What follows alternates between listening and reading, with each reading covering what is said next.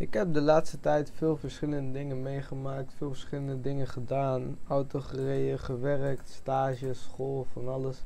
En eh, YouTube, ja, dat ben ik helemaal vergeten. Ik heb al die tijd wel nagedacht om een uh, videootje te maken, maar er kwam heel veel tussen. Werk, school, noem het maar op. Dus ja, toen dacht ik van, uh, laat ik maar een videootje maken. Fantasie op school en ik leer graag, want ik ben een voetbalboy boy. Ja, Zit graag achter mijn pc. Ga en laten wekken bij de ICT. op school heb ik het heel erg naar mijn zin. Laat ik maar een videootje maken in de Ramadan. Omdat ik daar wat meer tijd heb. Al die tijd eh, die ik nodig heb om te eten, nou, dan kan ik dan even hierin eh, investeren. En eh, nou, ik heb eigenlijk besloten van, eh, in plaats van dat ik helemaal niks upload of zo, dat ik, dat ik gewoon wat eh, random dingen online zet.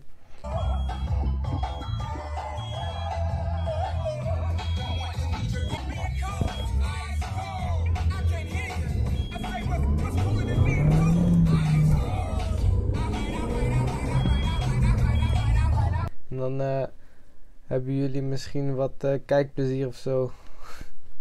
Yes, Tefe Chub comeback. Oh yeah.